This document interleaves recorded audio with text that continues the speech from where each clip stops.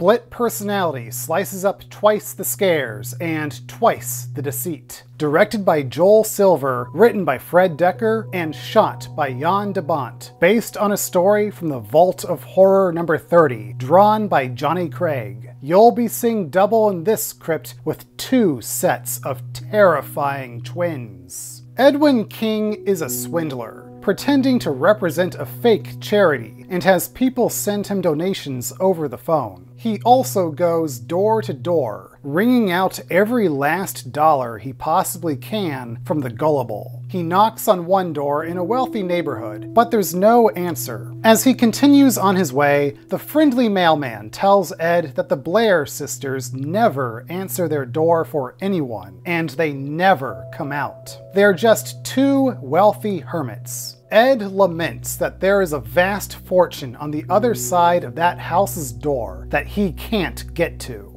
But his luck is about to change. A beautiful woman is leaning out the top floor window. She must be one of the Blair sisters, and she's trying to coax a cat stuck on a tree to come back inside the house. Seizing his opportunity, Ed proclaims he will climb the tree and rescue her cat. Three years before playing in Martin Scorsese's casino, Joe Pesci tries his luck in The Crypt Keepers as Vic, who seems to help out a weary gambler. You make blackjack on the next card, the house pays five to one. You're rich, Ace. That's if he gives me a two. A hundred says it is. You got more to lose. Oh, what the hell? Deal me a two.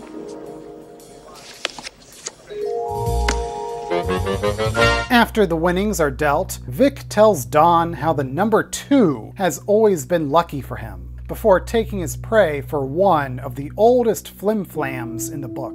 I got an inside line on a no risk, tax free, limited partnership investment. Guaranteed to double our money. Minimum 10 grand. You keep that cash. Write me a personal check now. Give me your address and your phone number. Inside two weeks, we're sitting pretty. Your boy gets his operation. We call it two friends doing each other a favor. What do you say, Dan? Don. Even the dealer was in on it. Later, driving on about his day, Vic blows out a tire, swerving out of the way of two black cats. Good luck for sure. Vic makes his way onto a nearby, luxurious property. What the fuck is this piece of shit? He enters through the unlocked door and makes himself to look more banged up than he actually is. The owner holds a gun on him, but Vic claims he just wants to use the phone. The owner's twin sister comes out. Vic is introduced to April and June, the Blair sisters. He picks up the phone and impresses the two with his knowledge of their architect father. Really have a beautiful home here. In fact, next to the Case Observatory up in Oak Valley, I think that this house might be Blair's greatest architectural achievement. German expressionist influence, 50s futurism. You knew who our father was? Are you kidding?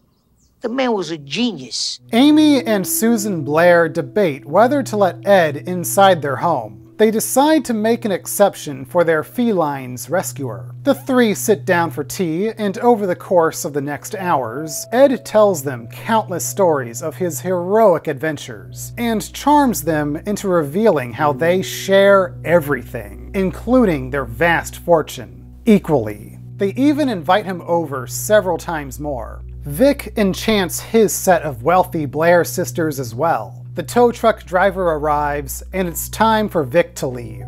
The Blairs would like to see him again too. As the Blairs become less reclusive and get to know Ed and Vic, they fall in love with him. So deeply in love with him, they wish there were two of him.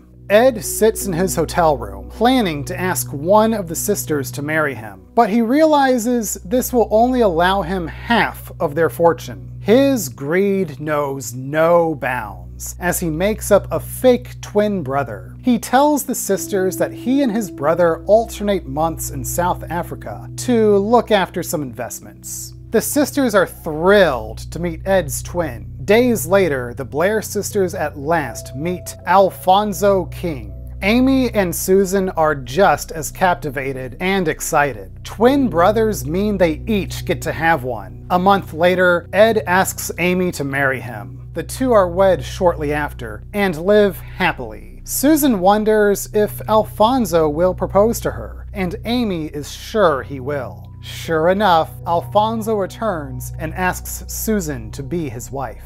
Vic speaks to April and June separately, expressing his love for them. He also learns a little more about their personalities. We never needed to go out before Daddy died.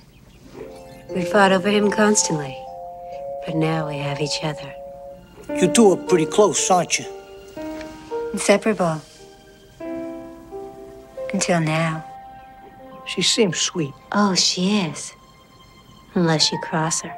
Come again? Well, I mean, everyone has a dark side, don't they? He's got the Blair sisters where he wants them, but he knows they have equal say about their inherited fortune. To get his hand on all the money, he has to marry both of them. He also makes up an abroad twin brother, Jack. Vic leaves for business, and Jack introduces himself to the Blairs. It is no time before April and June are married to Vic and Jack.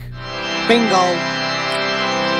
Now both sisters are happily married, but are disappointed that their husbands can never be around at the same time. Ed successfully pulls off the charade for months, taking trips to South Africa. He buys a tanning lamp in order to keep up the appearance. And one day, as he naps under the light, the wind from the window brushes his robe sash across his back, leaving a distinct tan line. Vic's tan line occurs when he's out by the pool. Alfonso returns from Africa, and Susan notices a humorous tan line on his back. The sisters gossip about their husbands and find out they both have the exact same tan line. The two have a laugh, followed by a realization.